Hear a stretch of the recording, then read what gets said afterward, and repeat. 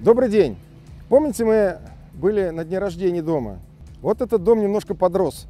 Он уже такой, почти вырос до конца. И мы решили, воспользовавшись этой погодой, которую нам природа подарила эти три дня, решили его покрасить. Вот сегодня мы хотим рассказать немножко о доме и немножко о технологиях, которые применяем, чтобы покрасить быстро, качественно и хорошо. Ну, во-первых, э, видите площадь? Вот это покрашено за буквально 2 часа, потому что времени очень мало, природа дает.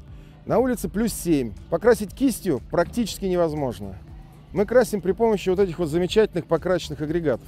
Э, вот как это выглядит, видно за мной. Ну, смотрите, что касается, чем покрывать дом, многие задают этот вопрос. Есть два варианта. Это лессирующий, где остается текстура дерева, просто придается определенный тон, и укрывная краска или укрывной антисептик. Э, лично я советую применять укрывной антисептик. Почему? Потому что минимум лет 10 вы не будете знать, что такое э, ремонт покрытия. Оно прекрасно держит и атмосферное осадки, прекрасно держит солнце и все остальное. Поэтому лессирующие есть, но надо понимать, что вы раз там 2-3 года нужно будет их обязательно обновить. Вообще главный враг э, краски, дерева, вообще всего живого на планете, это, как ни странно, ультрафиолет. Он выедает все. Почему вот этот светлым сделан? Чтобы отталкивало. Стоит сделать его темным, например, фасад, у него температура будет разогреваться зимой там, до 30 градусов плюса на солнце. Меня все спрашивают, как выбрать цвет для дома? Знаете, э, давать советы кому-либо, как выбрать цвет, работа неблагодарная. Я не знаю, как убедить человека, каким цветом красить дом. Я могу только рекомендовать. Если человек хочет выбрать цвет, у нас есть огромный выбор портфолио, где мы показываем, смотрим, какие крыши идут, какие цвета идут, какие окна. И всегда есть возможность выбора того или иного цвета.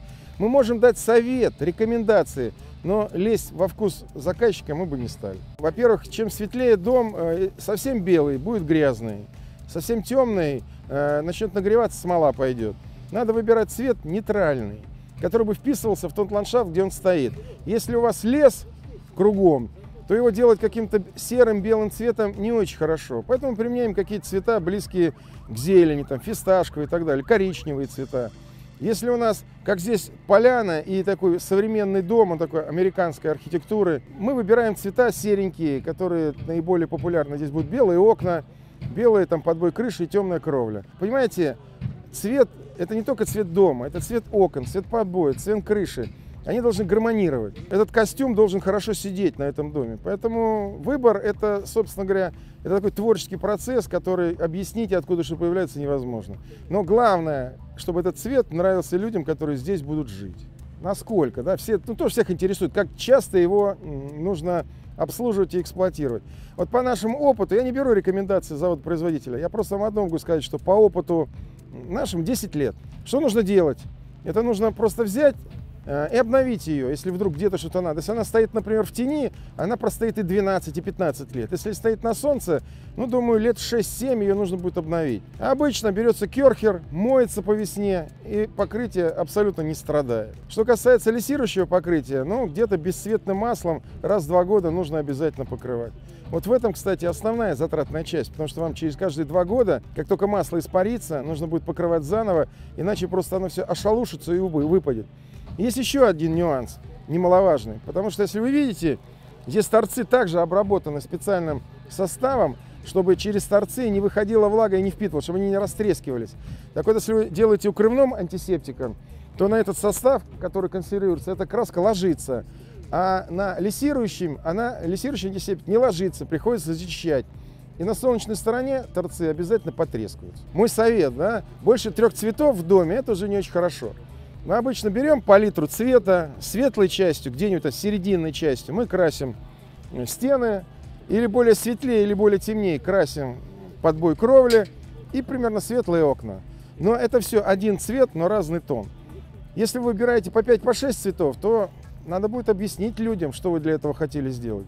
Хотя могу вам сказать, что в последнее время модные покраски, которые делаются разноцветный дом.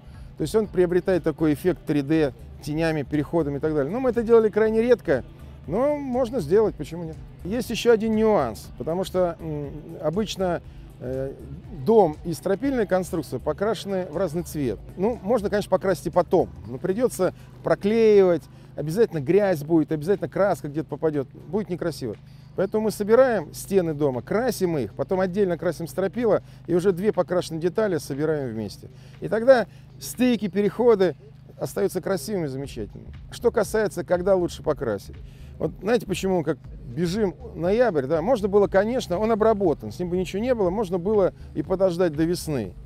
Ну, я уже сказал, что тогда мы стропилы мы красим на заводе, они уже приходят покрашены. Тогда надо было бы как-то очень тщательно выкрашивать, и были бы обязательно места, которые не защищены. Конечно, можно оставить и не крашеные и покрасить летом, но лучше это сделать сейчас. Если есть на это возможность. Тем более мы применили все существующие варианты. Даже если будет холодно, мы будем накрывать стены, подавать туда тепло и будем красить его сейчас. Идеально покрасить его после того, как его только собрали. Потому что это правильно. Обычно мы наносим три слоя, то есть два слоя наносим сейчас, и третий слой будет наноситься уже в конце, то есть такой обновленный. Мы где-то почистим, подшпаклюем, где-то грязь, где-то еще что-то, пока будем строить дом. И обновим его в конце уже краскопультом, такой легкий финишный слой нанесем и передадим дом заказчику. Все спрашивают, какие лучше краски применять. Говорить об этом не буду, потому что ни с одной из этих компаний не заключены рекламные договора. А если компания хочет, чтобы мы продвинули их краску на рынке, то Палекс Строй, присылайте нам сообщение, и мы обязательно продвинем вашу краску на наших домах.